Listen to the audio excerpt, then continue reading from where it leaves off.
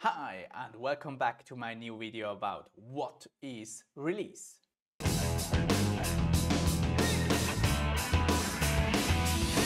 Please note that everything that I'm going to say and everything that I'm going to show you is under the license of Scaled Agile.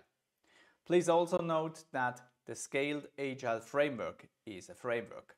Use it as a toolbox. Take out of this toolbox what fits your needs and what solves your problems. This video belongs to a series of videos which I'm doing where I'm going through the SAFe for DevOps Health Radar. If you want to know more about the SAFe for DevOps Health Radar, you can watch my video which I have added here. The SAFe for DevOps Health Radar starts with the customers or with the business which have bright ideas. We are going to extract the hypothesis behind these bright ideas and we are putting them into epics. With these epics, we are going into collaborate and research and we are going to identify the real customer need or the real market need behind this hypothesis. Then we are going to architect the minimal amount of architecture which is needed to prove the hypothesis. And after that, we are going to break down the epic into features and we are going to prioritize these features and putting these features on a backlog.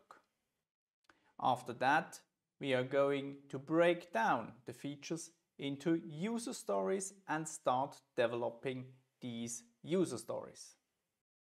Then we are going to commit our source code into the source code repository. We are going to reintegrate our changes with the rest of the changes and we are going to build a deployable artifact. This deployable artifact is then tested end to end. And then we are going to deploy this deployable artifact into our staging environment, which is a production near environment. When we have done the final verification in the staging environment, then we are going to deploy it to production. Now we verify in production if everything is still okay. And we start to monitor our solution. If something happens in production, we are going to respond to these problems. Now we are ready to release. Let's have a look what we are doing there.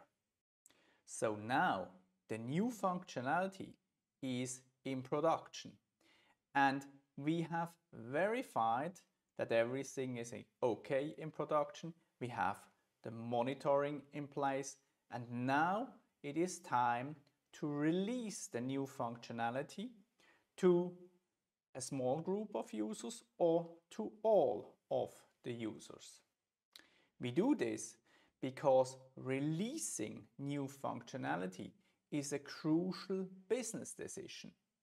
Releasing too early can have a huge impact and of course also releasing too late new functionality can have a negative impact. This is why releasing is a crucial business decision which needs to be made by the business. And this is exactly why we separate deployment from release. To be able to release on demand and give the business the ability to decide when the is the right time to release, we need to separate deployment from release. We talked already about separating deployment from release in the architect step, which you can see in this video up here. A deployment is bringing the compiled code into production with the feature toggle off. A release is switching the feature toggle on. A feature toggle enables us to separate deployment from release. I have already talked about the feature toggles in the deploy step, which you can see in this video up here.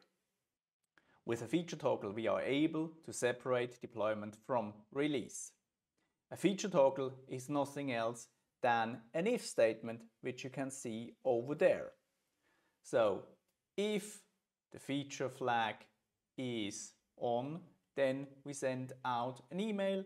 If the feature flag is off, then we print out. Thanks to the feature flags, we are able to continuously deploy into production without releasing the functionality to the users. This is called a dark launch. We deploy new functionality into production without releasing the functionality to the users. This enables us to already set up the whole monitoring and the alerting and see how our new code behaves in production. I have already talked about dark launches in my video about deploy. I talked already about architecting for releasability in my video about architect. When we architect for releasability, we see our solution as one big solution, which you can see in green over there, and we separate it into smaller parts. This can be microservices, components, or whatever. These are the gray or the red or the blue area over there. So now we define for each one of these components, microservices, services, a deployment and release strategy. It might be that, for example, there is heavy development going on in the gray area, which means that we are going to release every two weeks new functionality to the end users. Meanwhile, in the red area, we have less development going on and we just release on demand when we have something to release. And then we have the blue area where we release, for example, every month. And the whole solution is released every quarter. This is how we architect for releasability. And for that, we need to separate deployment and release, and we need to use feature toggles and dark launches. And by separating deployment from release and by having feature toggles and by having dark launches, we are able to do canary releases. With a canary release, we can make features available to a subset of the whole users. So the strategy is the following. By enabling a feature to only a subset of the users, they can already test out the new functionality in production, give us feedback, and we can slowly increase the number of users which use this new functionality in production. With that, we are able to see problems very early and they only affect a small number of users. The word canary release comes from the canary bird, which were used in the old days from the miners, which you can see in that picture down there. They used the canary bird to go into the mines and if the canary bird died, they knew that they need to go out. Canary releases are commonly used. You may also have heard of the terms alpha, beta tester or a friends and family release. The output of the release step is the releasing of functionality to a subset of users or to all of the users. For releasing on demand, we need to separate deployment from release And for that, we need to have feature toggles. A feature toggle is nothing else than an if statement in the code. This is the simplest way how to implement a feature toggle. Of course, you can also have some tools.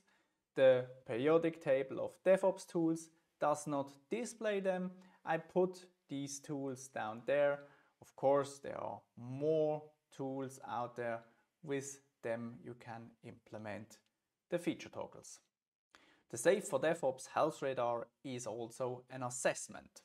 You can download the assessment as an Excel file with this link down here. Releasing involves making deployed features available to end users. Rate your team's ability to release features to users on demand using feature toggles, blue-green environments, canary releases, and so on. You are a SIT when releases are tightly coupled to deployments and customers are extremely dissatisfied with the frequency of releases. You are crawl when releases are tightly coupled to deployments, but customers are somewhat dissatisfied with the frequency of releases. And you are a walk when releases and deployments are coupled, but both occur continuously or on demand. And you are run when releases is decoupled from deployment Deployed features are released to end user population based on business readiness. And you are a fly when deployed features can be released to individual segments of the user population. Features toggles are refactored when no longer used.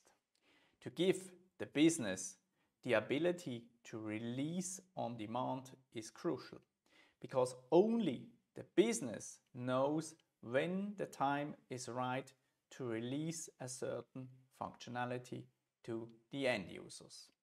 To do this, we need to separate deployment from release and use feature toggles and dark launches.